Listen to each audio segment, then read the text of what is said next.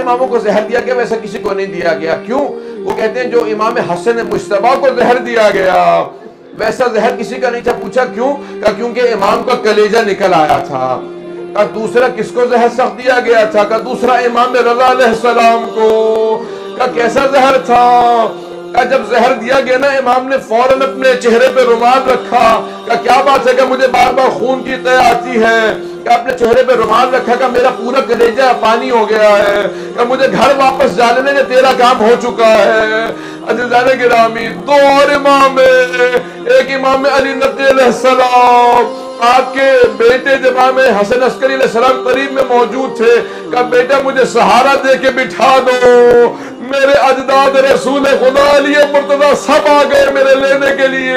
میری دادی زہرا موجود ہے۔